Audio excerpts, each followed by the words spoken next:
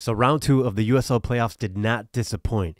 That is what we're going to talk about in this video. But before we get into it, welcome everyone to the USL Insight, where we talk about news happening around the USL. And if you're a fan, please give this video a like because it really helps with the algorithm. Now with that, why don't we get into it? And like I said, guys, the USL playoffs round two did not disappoint in any way. Every single game that was going on was entertaining. Every single game had something that stood out, and that is what the playoffs are about. The excitement, the the the challenges, the competition, that is what it's all about. The underdog winning, and we have to talk about the first game being Louisville versus Rhode Island. Guys, I'll be honest, I thought that was the end of Rhode Island. I thought they were not going to be able to beat one of the greatest teams in the history of the USL Championship because that's what Louisville looked like to me. Louisville looked like they were going to win it all. This was theirs to lose. And Rhode Island, credit to them what they were able to accomplish. Danny Cruz said it. We were outplayed one by one. It is absolutely incredible what Rhode Island is doing. This is their first year competing in the USL Championship and they made it this far. They're in the Eastern Conference Finals. That doesn't happen with any expansion team. That is so unlikely. It is unlikely for them to come in and then to beat Louisville City, to beat one of the giants of this league. They won the the Players Shield, and yeah, the final score was three to zero. And guys, I'm just amazed at, at this game. The, the way that Rhode Island is playing right now, the confidence that they have, it is it is incredible. And um, they're the team that I want to win right now, just because you can see how hungry they are, how how, how they want this to be their year. I mean, they're gonna get a brand new stadium, and imagine if they were able to already lift the trophy trophy as a brand new team in a league, that'd be perfect. And I know that's happening as well in USL League One with Spokane Velocity.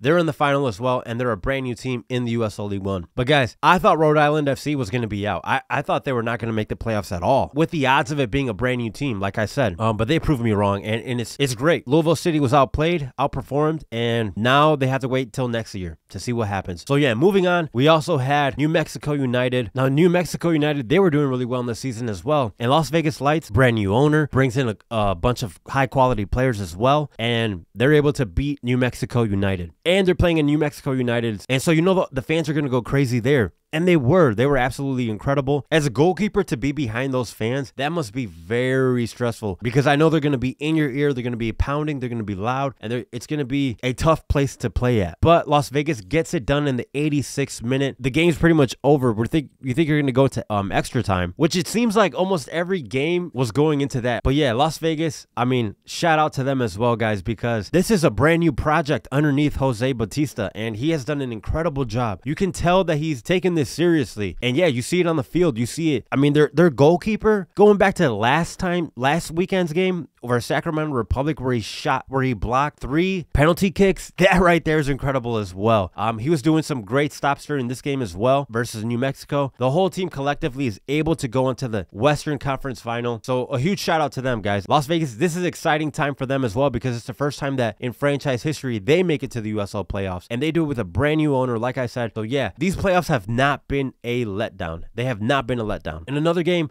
is Charleston Battery versus Tampa Bay Rowdies. Now, this game was going to be good as well because these two teams, I feel like they're well known teams in the USL Championship. They're very competitive teams in the USL Championship. And so you knew that this game was going to be great, and it did not disappoint in any way. Tampa Bay Rowdies are up ahead 1 0 in the first half. Second half, Charleston Battery comes back to score two, and we have to talk about Aaron Molloy's beautiful, absolutely beautiful free kick. Guys, that goal was absolutely beautiful. There's nothing like that. I mean, he's so far out, gets the free kick, hits the top post and in. I mean, Jordan Farr, I, I don't even know. I mean, just that thing was stunning, guys. That was absolutely beautiful. In the 83rd minute to pretty much win the game, two to one is the final score. I mean, Jordan Farr, I don't even know what he's thinking during that because I know you wish that doesn't happen. I know as a goalkeeper, you're like, what just happened? To, I mean, he even looks around like he's in disbelief because that thing was absolutely stunning. You don't get tired about talking to that goal. The Charleston Battery are showing that thing on Twitter Uh, or on X, they're showing that thing over and over again because why not? You have to. That thing was absolutely stunning. I don't even I know I'm repeating it, but man, that thing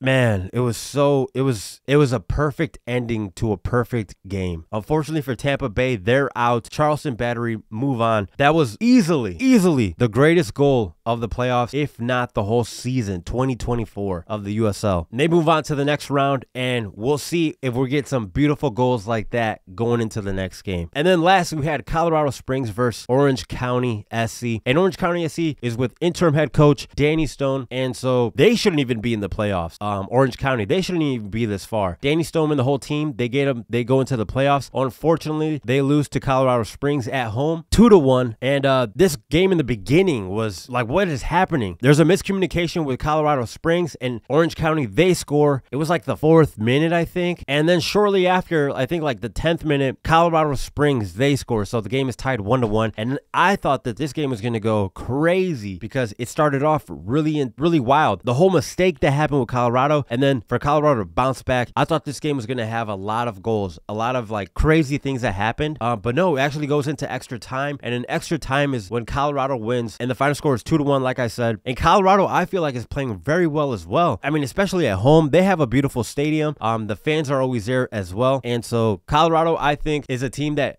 hasn't got a lot of credit this year or hasn't been really talked about, I guess. But yeah, they're here for a reason and you can tell. So now they're going to have a, a tough competition with Las Vegas Lights, but that is a game that I know as well is not going to disappoint because these two teams, in my opinion, are matched up um, fairly evenly. They're both hungry for it. So yeah, the final four are left. We have Colorado, Las Vegas, and Charleston Battery, Rhode Island FC. Now, the last four games, guys, it is comes down to the wire. You want to win their conference. You want to lift up that trophy. You ultimately want to win the USL Championship trophy, beat Crown 2024 champs. And I feel that each team on here, I know it sounds a little cliche, but they deserve to be here. They have fought for it. And each game you can tell and so it's exciting to see. I cannot wait. I hope that the next round is as exciting as and entertaining as this last round was guys guys because i don't know every, i'm not a gambling guy but every single team that i would have picked is out essentially. But that's what happens in the playoffs. It's like a whole new tournament. It's like a whole new set of teams. Anything can happen. I didn't think Louisville and New Mexico would be out. These were the two major top guys, and they're both done. So anything is possible when it comes down to the playoffs. And so, yeah, let me know what you guys think is going to happen. Let me know who you were shocked about, who you think is going to win. I would love to see what you guys have to say. But thank you so much for tuning in. And with that, I will see you all on the next one.